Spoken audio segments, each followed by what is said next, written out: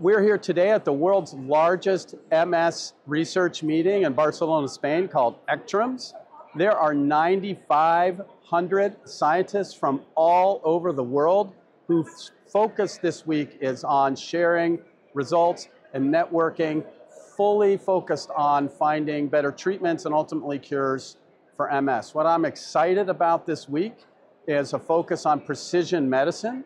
So this is about identifying what biology is driving uh, MS in each individual person and customizing therapy that addresses that biology. We're making progress this week on that uh, precision medicine.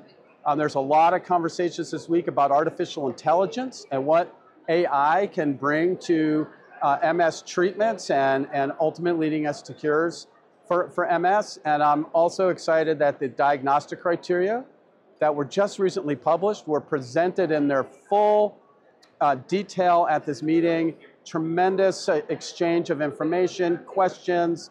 We're getting to a faster and more accurate diagnosis. And it's just a very exciting time to be in Barcelona, at, again, at the world's largest MS meeting.